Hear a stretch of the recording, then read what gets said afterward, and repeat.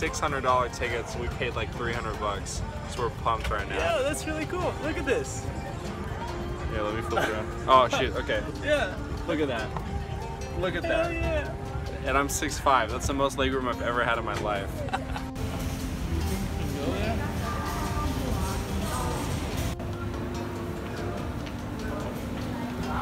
Alright, we're eating sushi on a plane in Thailand at 2 a.m. in the morning. Here we go.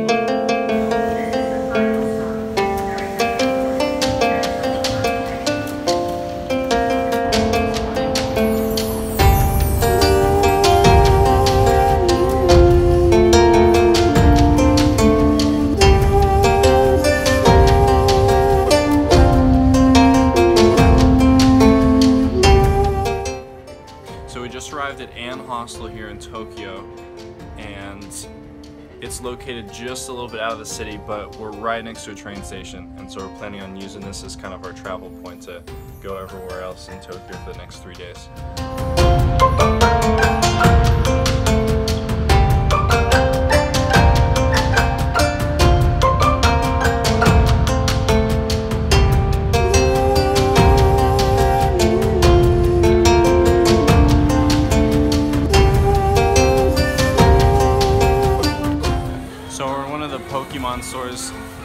Downtown Tokyo, and it has every single piece of Pokemon merchandise you could possibly think of.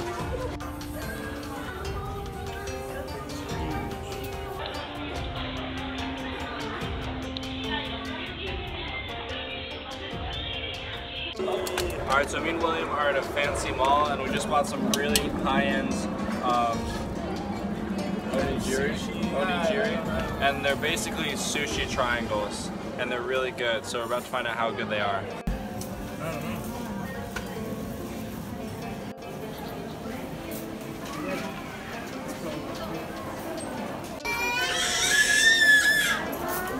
Just trying new stuff. That looks good. We got a lemon cake. How is it? Really good. So we just got out of Takashimaya Mall, and it was the fanciest place I've ever been in. People were like fanning themselves and walking around with canes, like all the stuff you see in the movie. It was nuts, but the desserts were really good. So we're about to eat a tart cake from Henri Charpentier. This French as well. Look at that. Even, it's even got its own ice pack to keep it cold.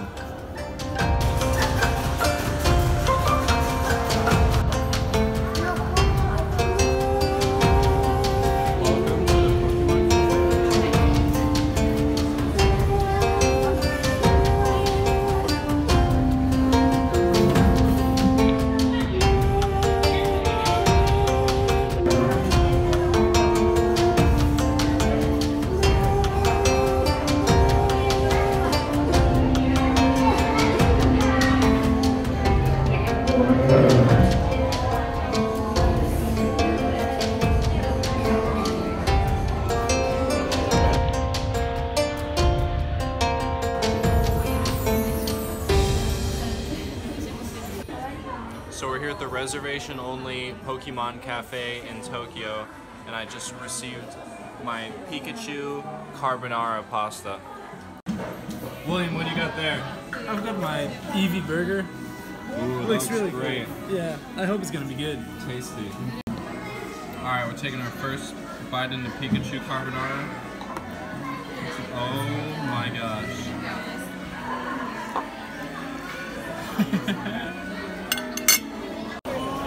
the great parts about Japan is sometimes you have horses in the subway. So me and William just got to Shinjuku, which is the entertainment district here in Tokyo, and check out all of these capsules. Just hanging out on the side of the street. And they've got everything.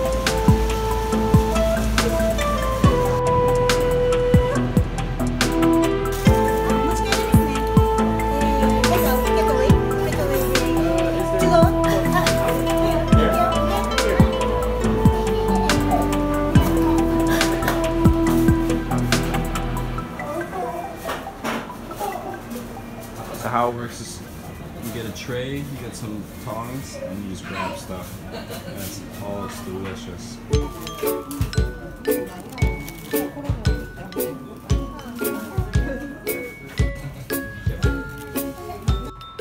So right now we're on our way to Akihabara, which used to be the electronics district in Tokyo, but now it's turned into more of like a otaku anime slash manga uh, type district. So I'm hoping to find some cool Yu-Gi-Oh stuff here, and hopefully some cool tech stuff as well.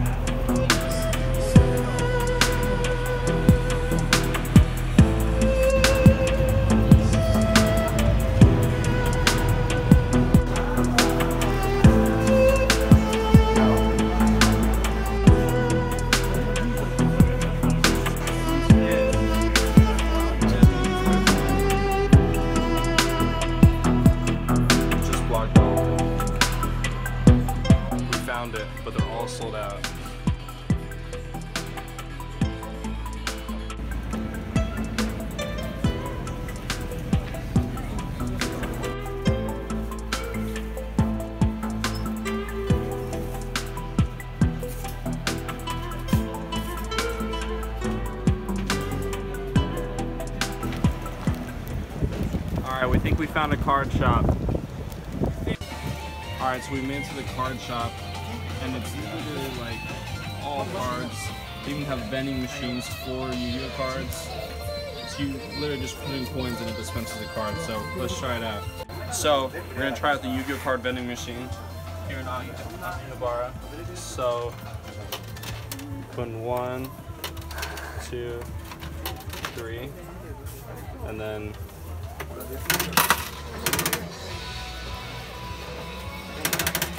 Oh shoot.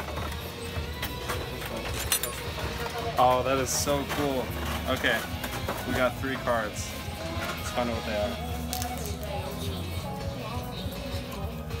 are. Look at that. I actually think I might know who that guy is. Oh, we got a Six Samurai card for Cameron. Nice. Okay, so right now we're in Super Potato, which has literally every single possible kind of retro gaming system or game. You can buy NESs, family computers, they have every single kind of game.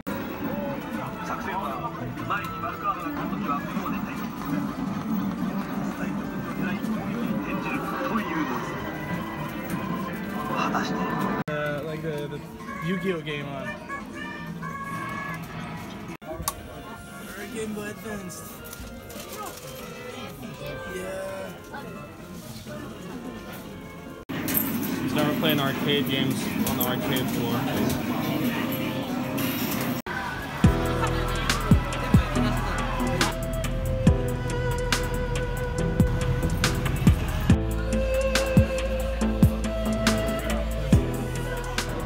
All right, so we just got out of the animate, and we we went up to the eighth floor, and it, there are like these really tall buildings. So you start at the top, and you kind of make your way down through all these floors.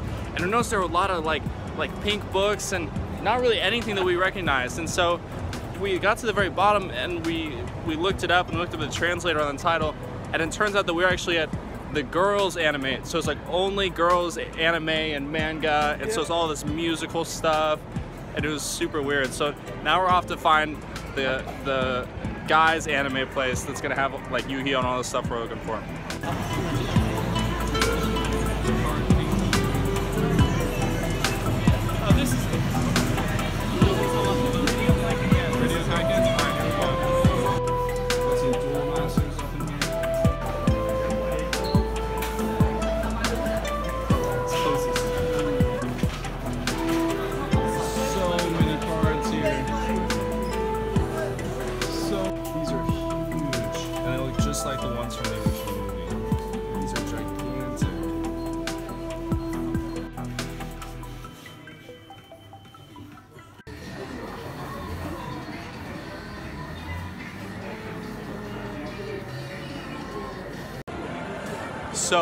Spent the day going up and down, uh, basically these Yu-Gi-Oh skyscrapers with basically every single kind of card you can think of.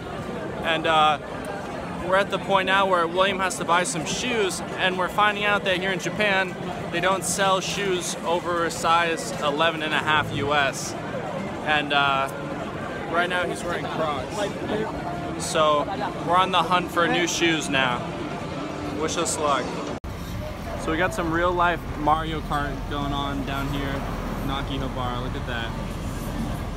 Just driving around in go-karts, no big deal. So we found a listing on Google called Large Size Shoe Shop, and it's brought us here. We had to walk about 30 minutes through back alleys, but I think we finally found some shoes. I think one's too small. I need 32. So we were pretty hungry, so we picked a random food place that looks pretty good, and they're gonna serve us like little meatballs or something. We're not really sure what they're called. We're about to find out if they're good or not.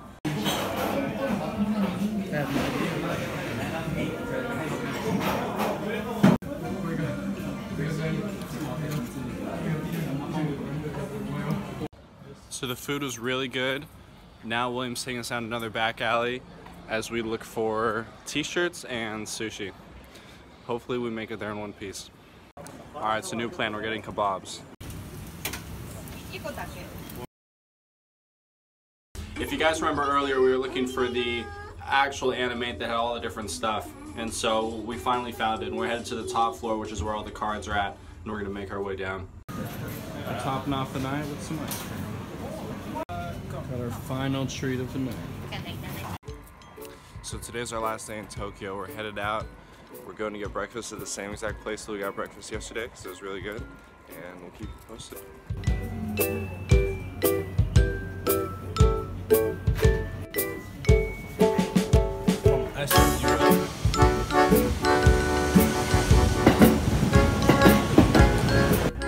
So we got lucky and we managed to grab a seat on the bullet train going to Shin-Osaka. And from Shin-Osaka, we're going to try to go to Hiroshima. This is cool.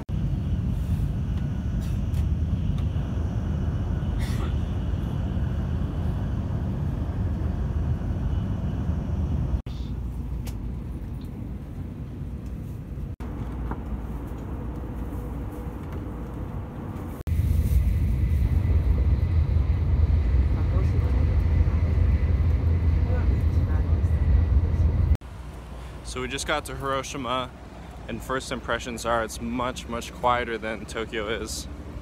Another interesting fact is that all of the local roads, they don't have uh, stoplights. They just have, uh, what would you call them, like police officers who kind of wave you through and kind of guide and direct all the traffic that comes through, which is really interesting. But overall, just, just a much quieter city for sure. So we're on our way, uh, taking a ferry on a detour to an island that's just right outside of Hiroshima. There's a really cool shrine here, and there's also a really cool Buddhist temple, and it is absolutely beautiful. Yeah. And all, all of the shots speak for themselves.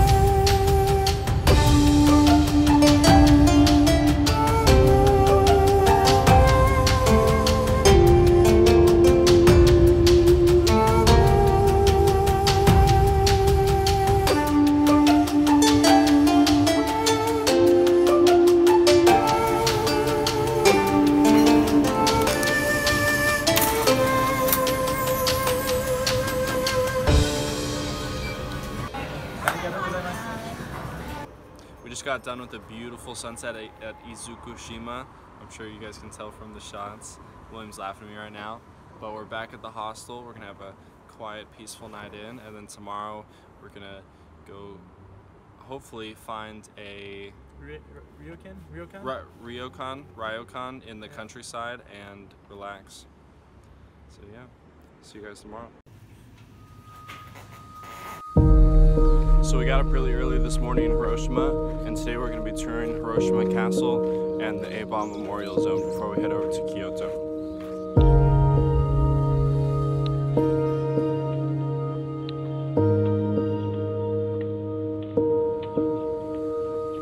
So we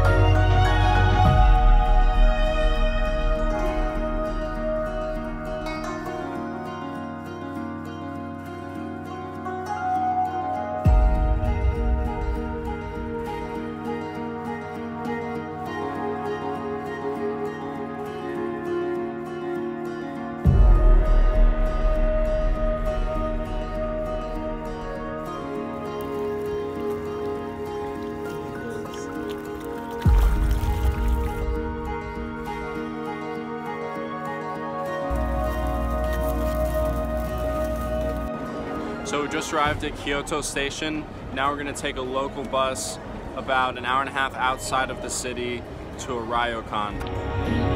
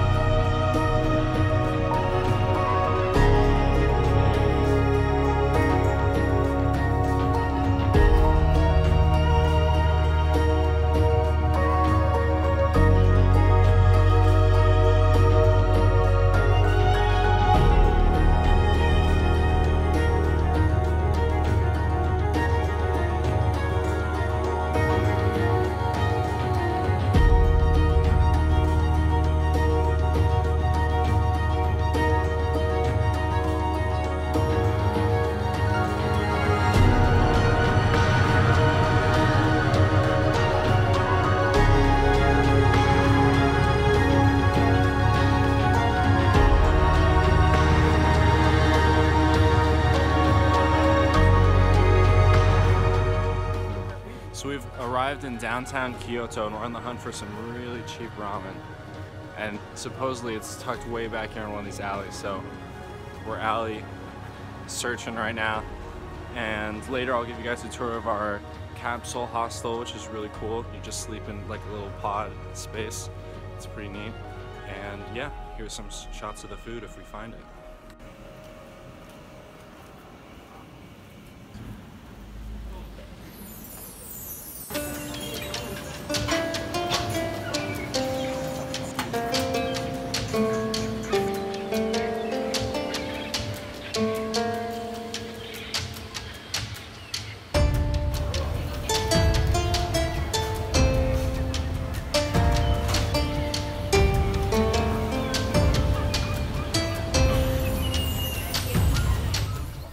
So these are the train stops on the subway. All one, two, three, four, five, six of these lines all leapfrog around each other underground, all going the same direction on this two-way path, which is incredible if you think about the amount of engineering that goes into that.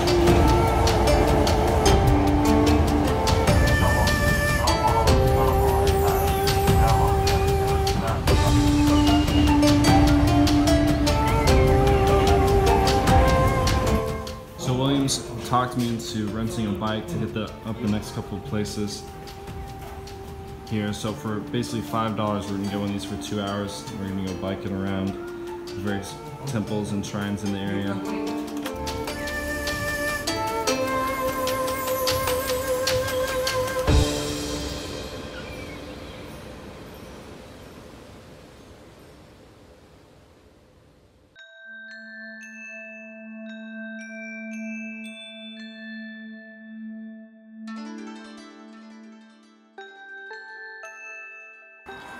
Parked our bikes and we're going to check out the Tenryuji temple and we're also going to go check out a bamboo forest that's up here as well.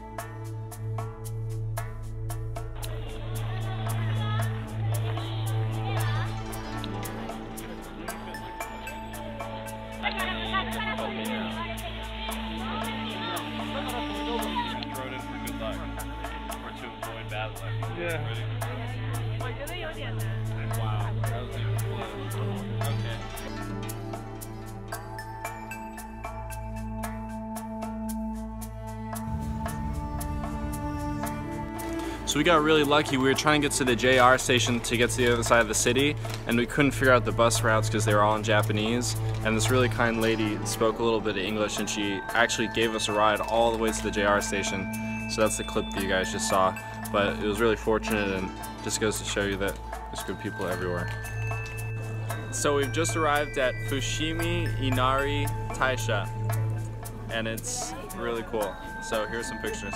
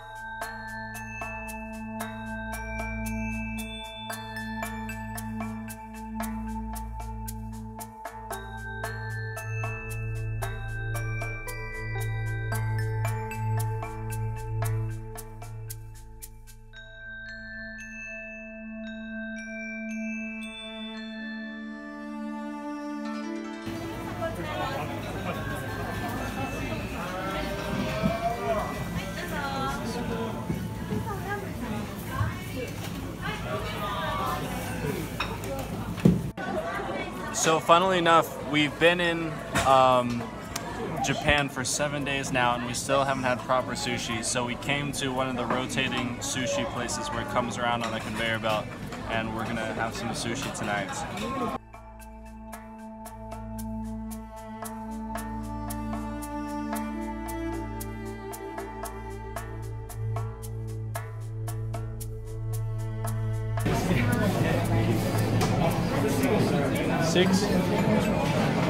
15. 15. So we're starting our last day in Kyoto in Nishiki Market, which is this huge, super long street that goes both ways for maybe a quarter of a mile, full of just every single type of local food shop or, you know, souvenir shop you could possibly think of, but it's super, super cool. And so we're gonna grab a snack here and then head on to our next destination.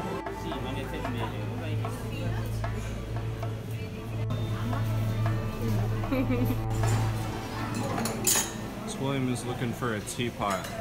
Or not a teapot, but what? Teacup. Teacup. He's looking for a very special teacup. Now we're in a knife shop where they make everything by hand. You can see them back here, sharpening wood. These are super, super high-end knives. Arrived at Mangakan. OG Yu-Gi-Oh! Manga. Alright, so we've arrived at our hostel here in Osaka.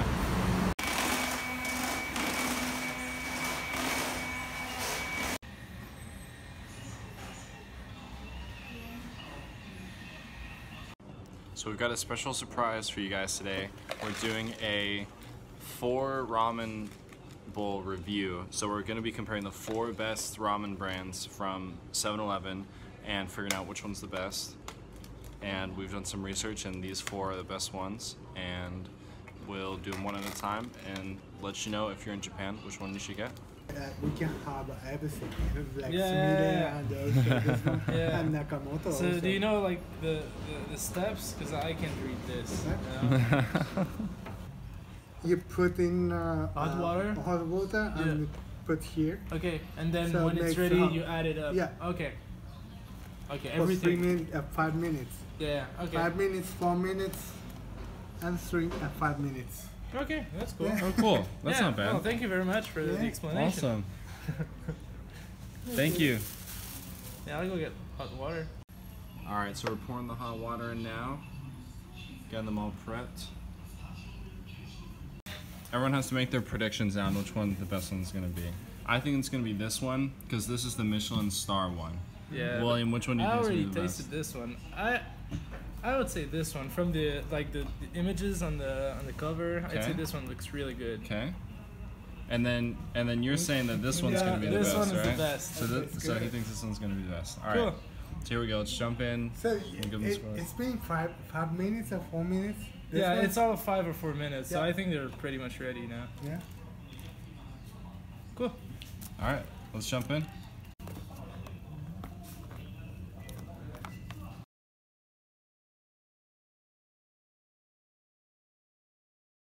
All right, so verdict on the first one. I thought it was really good. It had this really interesting mayonnaise, and we put it on. We're like, okay, this is gonna be kind of weird, mm-hmm. but it's actually wasabi mayonnaise. And so you you bought in like bit into it, and at first it's really mild, and then all of a sudden you get like this kick of wasabi, and adds this whole other level of complexity to it. It's got little meat pieces in it, so this one was really good. Yeah. Really impressed. We're gonna try the next one now. It's a me- Myanmar. You know that that one is uh, from bamboo. Bamboo? Yeah, baby bamboo. Oh, really? This? yeah. Oh, I didn't know it was bamboo. Yeah. Oh, that's cool. Oil, Yeah. and then we just mix it up. Okay, so what's the verdict on the Michelin star one? I thought it was pretty good. It was pretty good. After the first one, it was it seemed kind of boring, but I think as far as like ramen goes, like that's kind of what I think of when I think of Yeah. ramen, like a really mild, kind of nuanced Yep. flavor. So that one was good too. I agree. There's mm, there's meat and stuff in there. Oh, that smells really good. Yep. No, it's like that's a good thing. A good good way to eat ramen.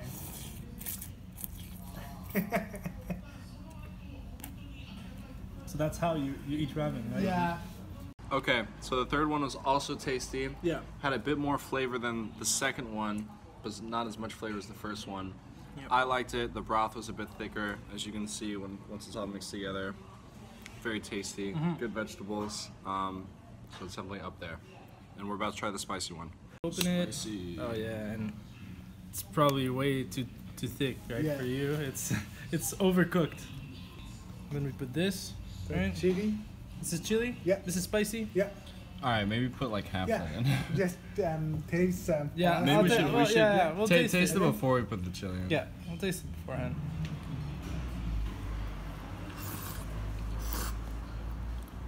All right, good Oh, slurp it's, it's it. already quite spicy. Without the chili? Yep. we put the rest of the chili sauce in that we did not have in there before, and we're gonna try it properly as it's instructed with the full amount of chili sauce. Would you like to take the first bite, William? Oh yeah, oh yeah. It's more tasty. William's, Yeah, it's more tasty. William has no fear. You have to slurp it, right?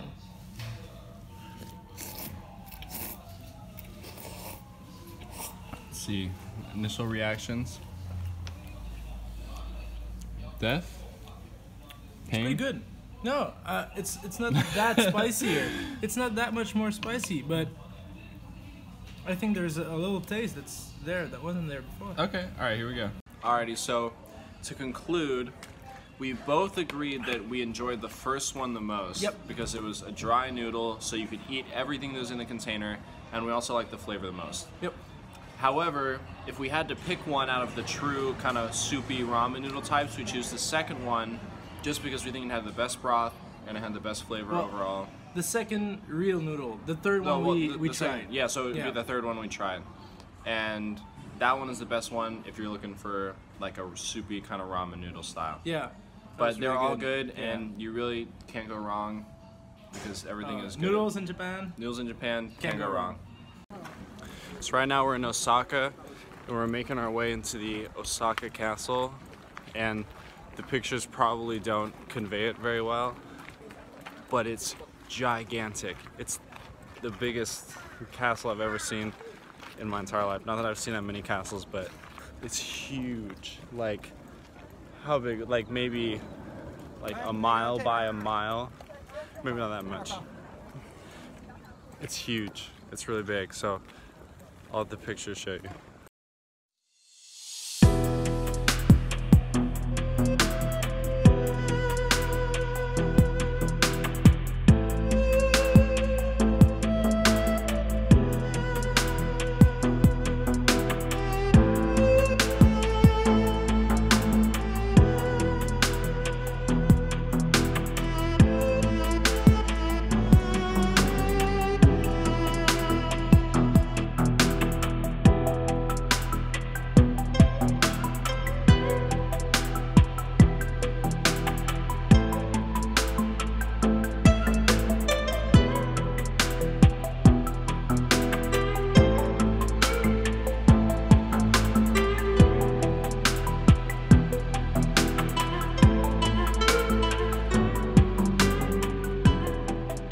We've arrived in the shopping district of Osaka. William, where are we? Tell me. Uh, wait a sec. Uh, Dotonbori. All right, we're in, Dotonbori. we're in Dotonbori, which is what's called the, the Times Square of Osaka. Is Yeah, that pretty correct? Pretty much.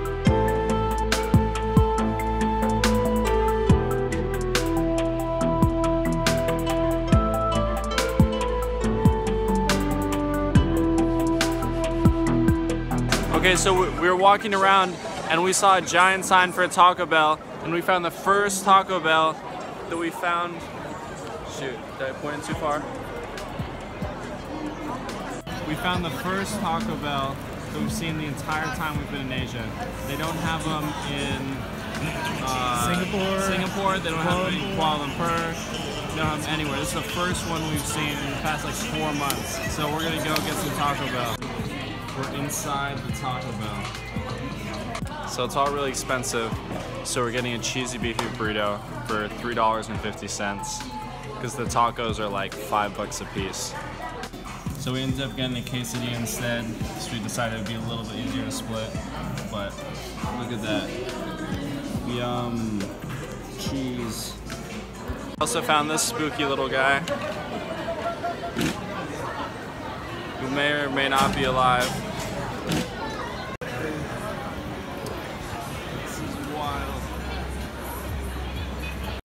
Spider-Man fights the oyster. so this is gonna sound crazy, but we've literally been walking for what, like 30, 45 minutes straight? Yeah. down like a single road with shops on both sides covered like non-stop and it goes on in every single direction it's the biggest shopping district i've been It's in crazy. in my entire life like the outlet malls back home like if you've ever been to an outlet mall imagine that like times like 30. That's how big this is. It's insane. And they're like multiple floors each place. It's so huge. It's huge. So now we're in the 100 yen store, which is like the equivalent of like the dollar store. Just kind of going through, seeing what they got. It's about the same as what they've got kind of in like uh, American dollar stores. It's just kind of like random cleaning stuff, you know, random kind of household type things. Nothing too crazy I would actually buy this for the for apartment. the apartment or speculation. So we found the candy section. We decided we're gonna pick out some candy. So I got these chocolate chip cookies filled with hopefully chocolate. William, what'd you get? Butterscotch candies. for 100 yen. It's a good deal. So, as far as chocolate cookies go, It's pretty terrible. it's it's pretty awful. I'd say it's probably the worst chocolate chip cookie I've had in my entire life. But as far as cookies go, it was alright. It was alright. It was 100 yen. It was alright. So, we tried the butterscotch and it actually tastes like butterscotch. Yeah, it's pretty good. It's pretty good. So, butterscotch cookies, thumbs up. Candies. Candies, sorry. butterscotch candies are good. Alrighty, so we're gonna end off the night back by our hostel at the Denny's. We're gonna get something and we're gonna see if it's as good as the one that's in Eureka, Missouri. Thank you. Arigato. Yeah, it starts at six, but uh, Alright, our first dish is a chocolate sundae.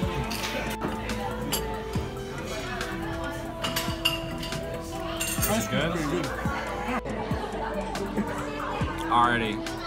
Verdict on the ice cream sundae, really good. Like an 8 or a 9 out of 10. Very tasty, good bananas.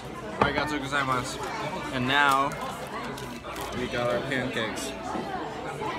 And some real food. What is that, shrimp Uh, pasta? it's like shrimp rice with uh, what is it? With three cheese and lobster sauce. Nice.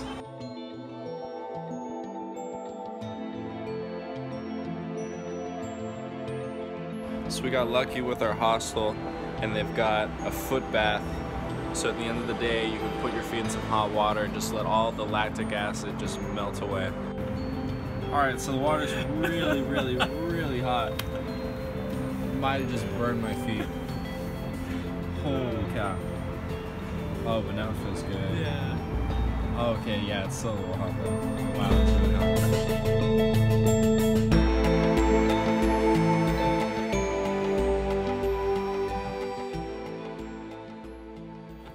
Hey guys, so we spent the whole day traveling from Kyoto, sorry, Osaka to Nikko. yeah. And so we're north about, what, like 100 miles of Tokyo. Yeah. Kind of out in the country. It's a little chilly here. I didn't pack a hoodie, so uh, we're staying moving to keep warm. And uh, it's really pretty. We've got some really beautiful mountains. I'll give you guys some shots of the clouds that are kind of scraping the tops of them. And uh, overall, it's a nice break from the city.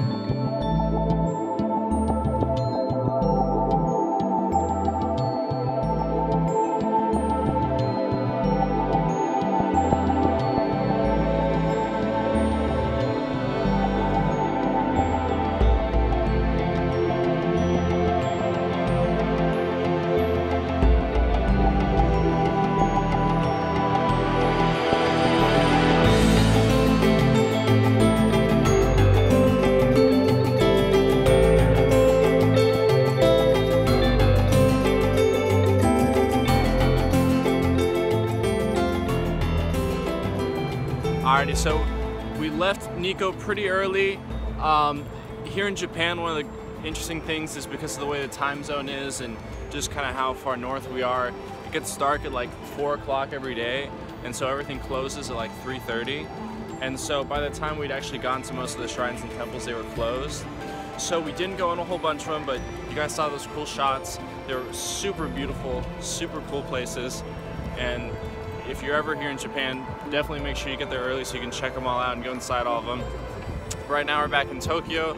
We're gonna stay in a real life capsule hotel Yeah. for our last night here. And then tomorrow we're gonna go do something before we go to the airport. You'll see. And you'll see then. We've arrived at the capsule hotel. You can see it's a big hallway full of these capsules. And right here, you can see William's there for scale. Privacy. And the whole thing is like maybe like four feet long. So I'm gonna be sleeping in a in a ball tonight, it seems. My itty bitty capsule hotel.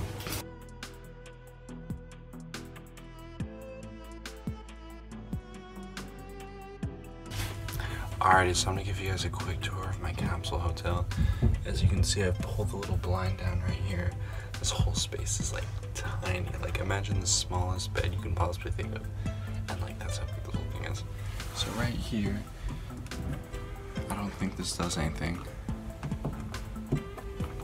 Yeah, no, that just kind of chills there. We've got our sheets right here. But what's really cool is down here you can see we've got a little alarm, a little radio. You can tune it. Check that out. Pretty cool. Got lights here.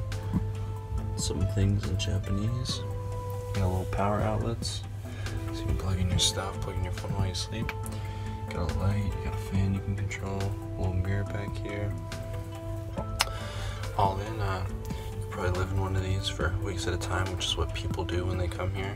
What a lot of business people here do is they live out kind of in the country a little ways and they'll come in for the week, live in these capsule hotels during the week, and then on Friday, whenever they're done with their work, they'll commute back out, take the, the Shinkansen, the bullet train back out to the country. And so, what's what's really cool about these is that they basically have everything you need and nothing you don't, and they're fairly inexpensive for what they are, just because you're only paying for a very very small space, which is really cool.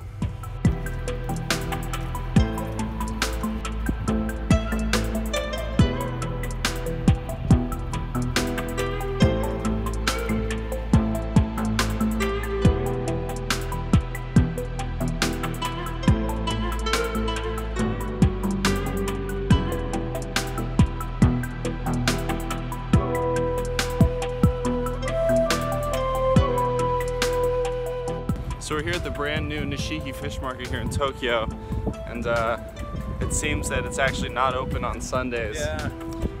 Wonder who planned that. It's all good though, because we got some cool views of the buildings, and they're humongous. It's a whole complex here, right on the water, of just buildings purely designed for the wholesale of fish and other things here in Tokyo. Biggest And- fish market in the world. It's the biggest, biggest fish market in the world. So pretty cool. Now we're gonna go try to get a good view of the city from on top of a tall building somewhere, and we'll give you guys some shots of that.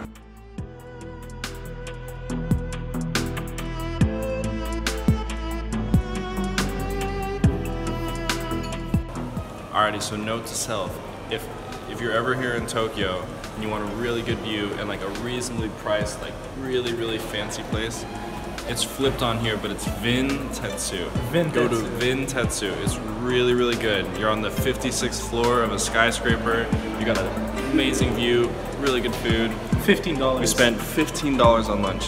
Pretty easy. So that's the place to go.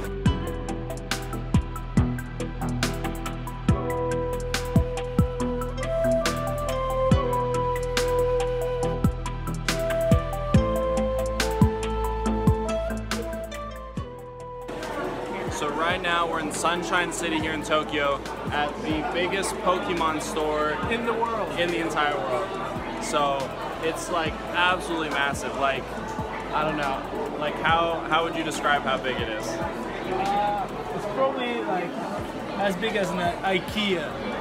IKEA big. Well, it might not be that big. It's not quite that big. It's like as big as like No. uh, the floor, like one floor of IKEA. It's massive. Yeah, It's really big, so we're gonna show you guys around.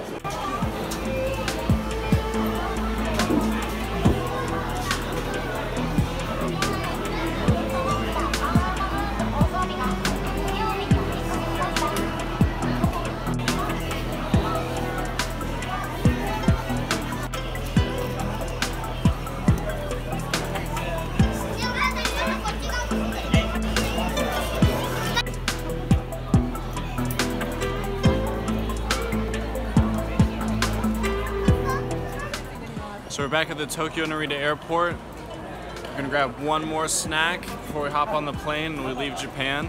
It's been a good trip. I'll probably have another section after this where I talk a little more about the trip and reflections and stuff.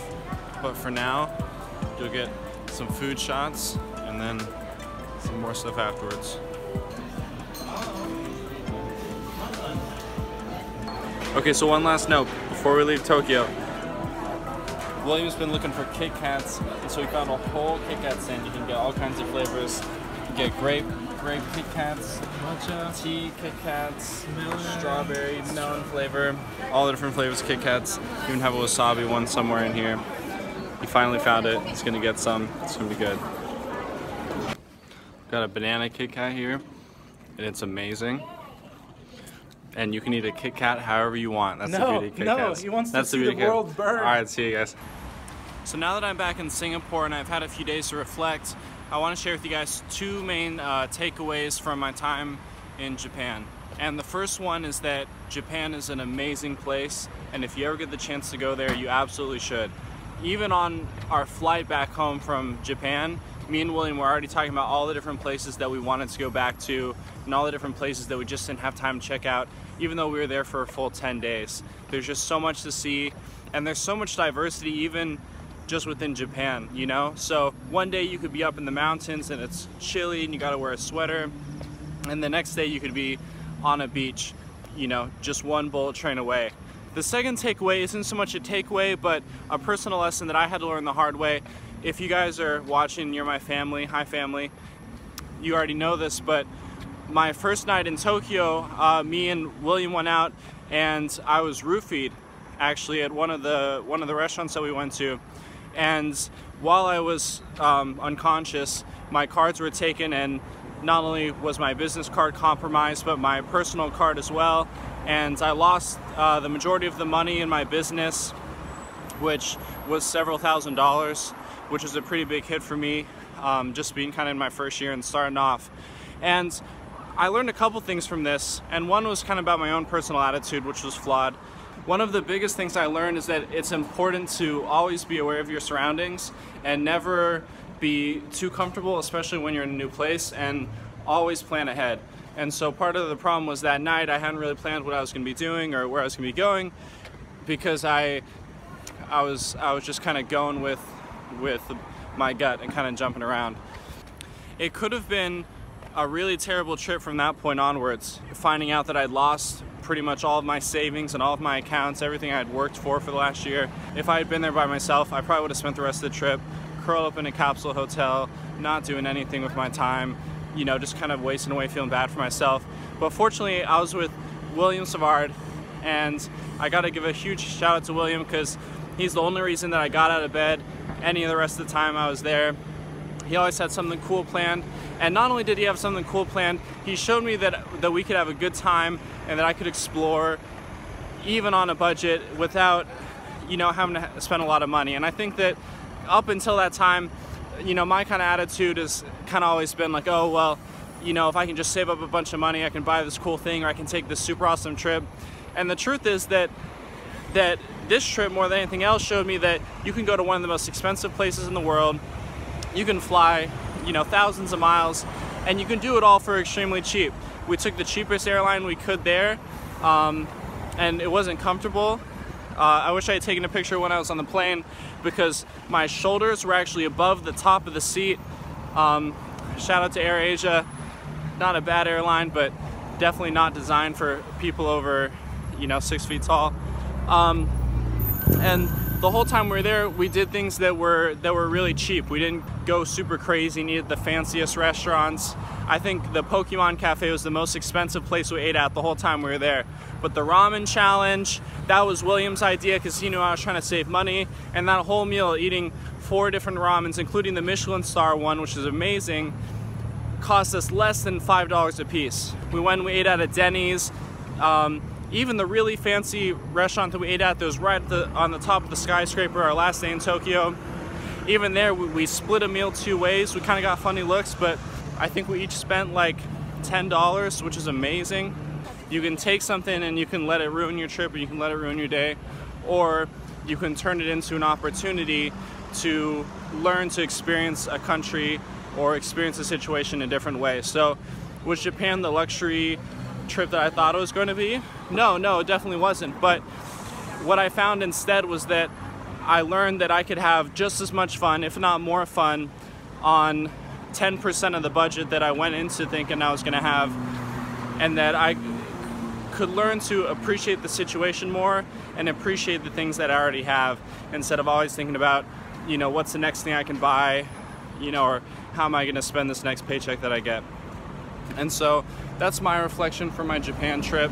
I hope you guys enjoyed the video. If you guys like it, please subscribe or share with your friends or anyone else who might be thinking about studying abroad in Asia. Um, that's all. Thank you guys for watching and stay tuned for more.